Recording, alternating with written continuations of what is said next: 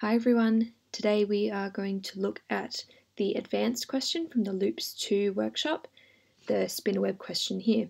So to get started with this question, you're given already some four lines of code to, um, to complete the red lines.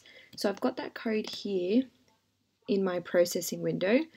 So we can run that and it works and I've just chosen um, 600 by 600 as my size. You can do whatever size you want. This will be a scalable program.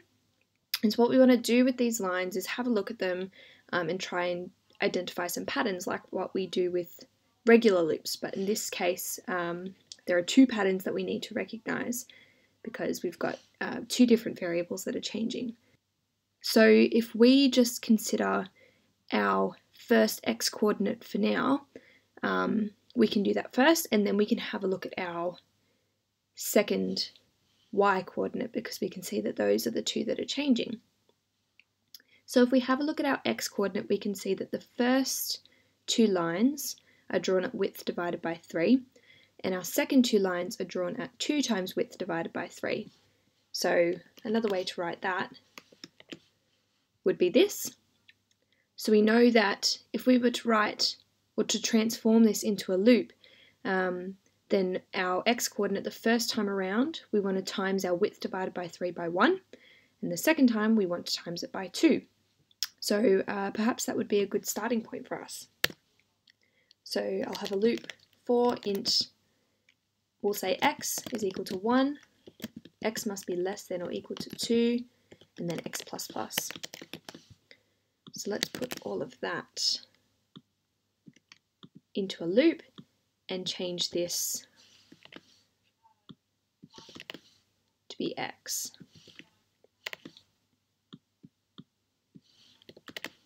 There we go. So when I run that, I should get the same thing. Um, but if you notice here, I've got some lines that are the same now. Um, so line 7 and line 9, for instance, uh, is the same code, which is good because then we can um, remove some lines of code. So I can remove one of these because it's already done once. We don't need two lines drawing over the top of each other. Um, and also line 8 and line 9 are now the same, so I can get rid of one of those. Perfect. So I've simplified my program now, um, but now I need to work out how to represent my y value. Um, so again, I've got something similar. The first time I have my y value, it's at height divided by 3 and the second time around it's at 2 times height divided by 3. So again we can represent it like this and we can have a inner loop that will represent um, this number 1 and 2. So I can say for int y is 1, y is less than or equal to 2, then y plus plus. We want to remember to indent our code because we want good code style. And there we go. So now I've got first time I loop round, y will be 1, and the second time I loop round, y will be 2. So now these two lines of code are identical, um, so we only need one of those.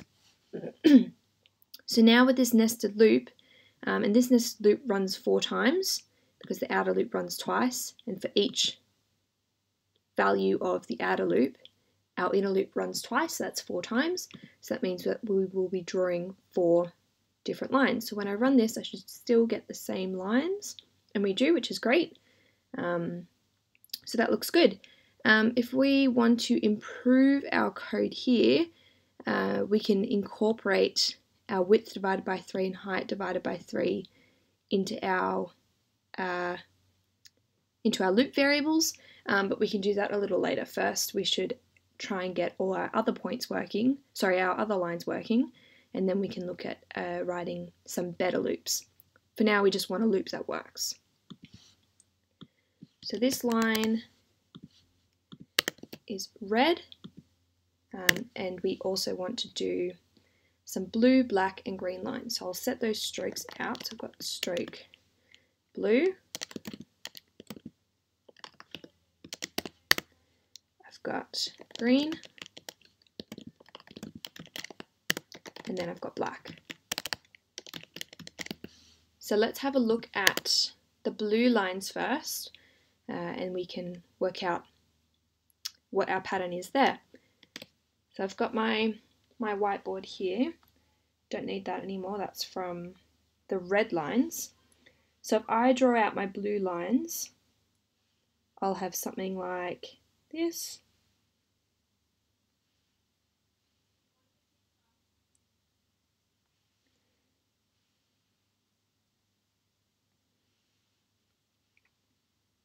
A rough, very rough estimate.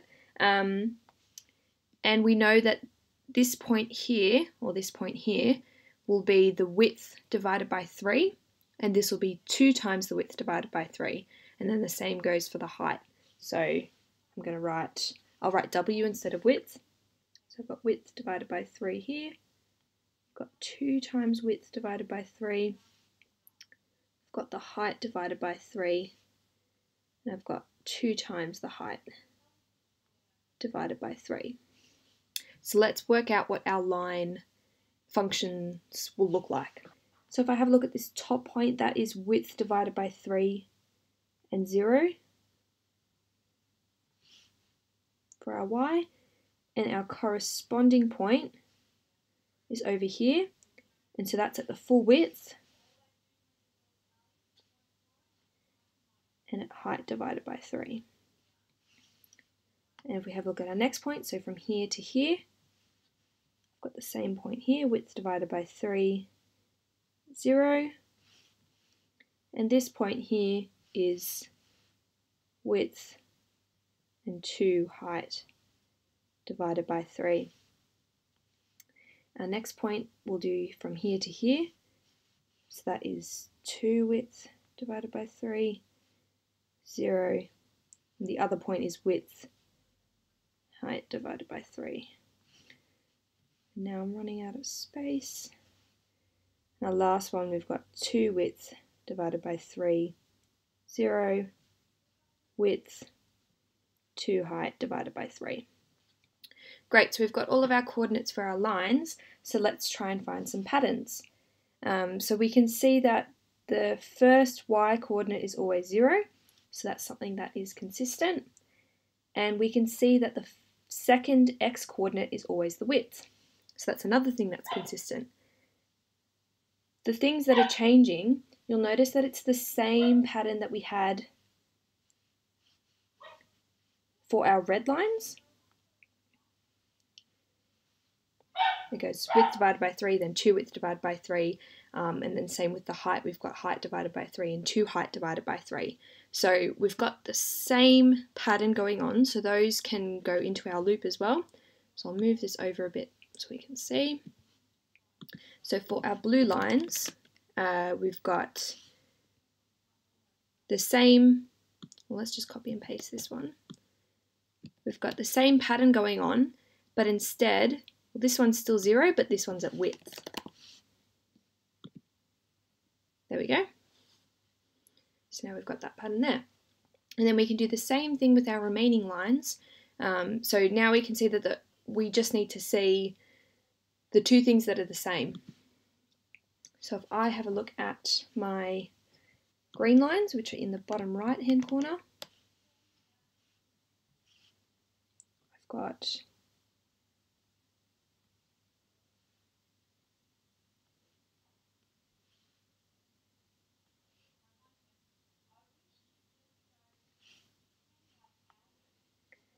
So I'm only going to do two lines because then we'll be able to see the pattern.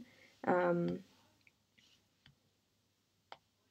I'll do this line and this line.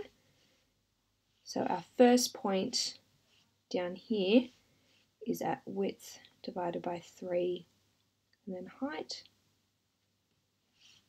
And then the corresponding point up here is at width height divided by 3. And the next one from here to here, I've got width divided by 3 height, and then I've got width 2 height divided by 3. So we can see our pattern here. This is always going to be height, this is always going to be width, and then our other two coordinates are going to follow that same pattern. So for the green ones, I've got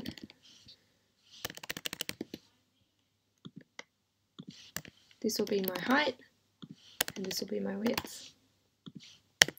And then lastly, the black lines, I'll just copy and paste that. Um, these two are going to change, so what are they going to be? So we've got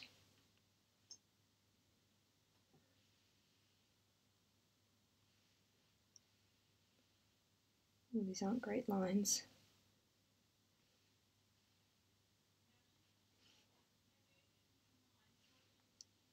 Not looking as good as the processing window.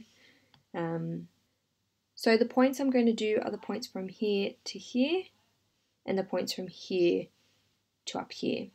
So let's start with this point here. That point is width divided by 3 height. And then the corresponding point up here is 0 for the width. And then I've got height 2 height divided by 3. And then my next one, which is from here to here, I've got width divided by 3 height. And that corresponding point up here is at 0 height divided by 3. So this time around, I do have this being consistent and I have this as our consistent point. These height coordinates are the other way around, uh, but it doesn't matter because it's going to be the same pattern. Same as if, uh, if when you're planning your points, you've got things the other way around. So maybe you had yours as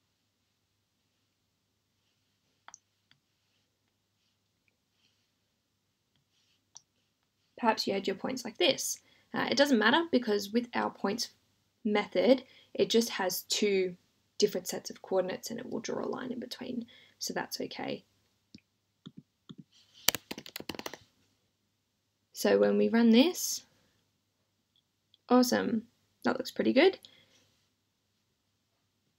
So again, um, perhaps you had your coordinates the other way around. Maybe you had it like this. It doesn't matter. As long as you can identify a pattern, then that's all that matters. So we can see that we have a lot of width divided by 3 and height divided by 3. So perhaps what we can do is change these loop variables to represent those values rather than 1 and 2. That might be something we can do. So for our x, we know that the first coordinate we're drawing at is at width divided by 3 and that the next one we're doing is at 2 times width divided by 3. And each time we're adding another third of the width. Uh, so we can do that, and then that's the same with the height. We've got height divided by 3 that is equal to 2 times height divided by 3. And then we're passing a third of the height each time.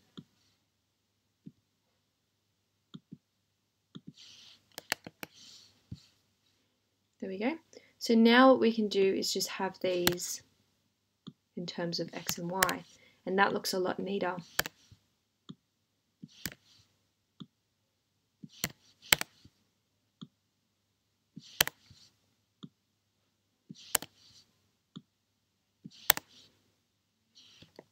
Format our code a bit better. Yeah, that looks heaps neater. we run this, we should get the same thing again.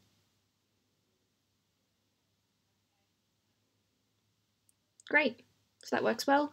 So that is how you identify patterns when it comes to nested loops. Definitely a little trickier finding the patterns compared to finding them with just single loops, uh, but if you use some diagrams like these, it becomes a lot more manageable.